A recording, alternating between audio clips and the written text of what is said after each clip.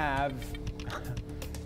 Uh, I was talking to Kristen Walla. She's in the weather center right now, working today. Also, it the the humidity that's going to be headed our way next week is it's kind of silly for the time of year that we're going to be in for how high it's going to get. It's going to feel very sticky out. It's 88 right now. Humidity's not terrible. The dew point still under 70. It's higher than where it's been the last few days, but it's still manageable. We've got an east wind, 11 miles per hour, hardly a cloud in the sky, and generally fairly quiet across the state. There's a weak boundary. It's technically a cold front, but this thing, all it's going to do for us as it moves to the east will deliver slightly drier air than what we have in place right now. It's not going to be that crisp air that we had uh, last weekend and the first part of this week, and it's going to be quite hot into Friday. Again, mid 90s headed our way for tomorrow.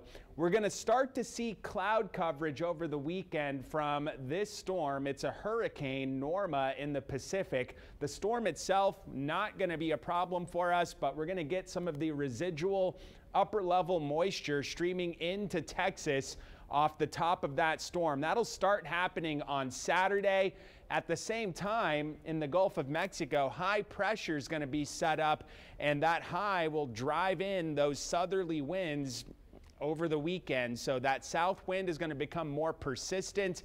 And with that, we're going to see the humidity levels continue to rise. So a few more clouds over the weekend. It will stay quite warm.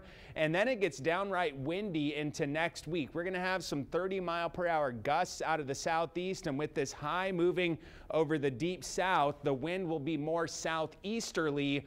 And with that, the humidity is going to get just really sticky outside. It's going to be very high on the humidity levels. We'll also have a little day to day isolated shower chance as we move into the majority of next week. Low end rain chances, but I think the biggest story is going to be how humid it gets. The muggy meter is going to be near summertime levels here uh, by the middle parts of next week. And with that, the overnight low temperatures are going to stay in the middle to lower 70s with afternoon highs a few degrees above average in the middle to upper 80s. Tonight, 64, clear skies. A little bit of patchy fog possible early tomorrow morning, uh, but it's not going to be widespread if that happens. Tomorrow, lots of sunshine. We may have a few clouds sneak in from the west in the afternoon. High temperature of 94. That's just two shy of the record high for the date, 96 back in 2016. Winds will be fairly light tomorrow, so Waters will remain smooth, one foot waves at a four second period on nearshore Gulf waters.